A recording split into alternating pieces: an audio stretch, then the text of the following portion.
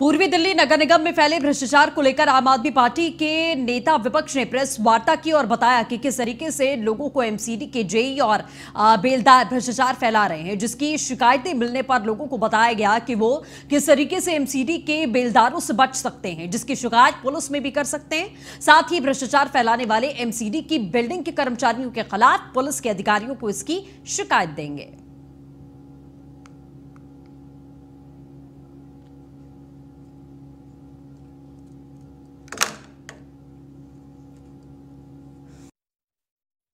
आप नेता विपक्ष ने बेलदारों से बचने की सलाह दी है, जिस तरीके से भ्रष्टाचार में संलिप्त हैं, उसको उजागर करने के लिए तमाम रास्ते बताए हैं। एमसीडी के जेई और बेलदार भ्रष्टाचार फैला रहे हैं, लेकिन उसको आप किस तरीके से उजागर कर सकते हैं, कहाँ पर आप उसकी शिकायतें कर सकते हैं, ये तमाम डिटेल्स दी गई हैं।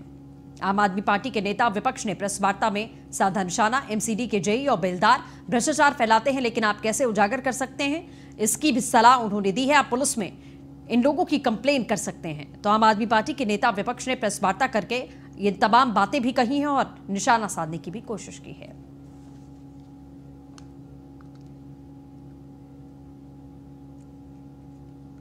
तो आपके नेता विपक्ष ने प्रेस वार्ता में साधा निशाना एमसीडी के जेई और बेलदार लगातार भ्रष्टाचार फैला रहे हैं। खुलासा आप कैसे कर सकते हैं? इसकी सलाह भी दी है। नेता विपक्ष ने बेलदारों से बचने की सलाह ज़ाहिर तौर पर दी है, ये डिटेल्स नाम के साथ में दी गई हैं।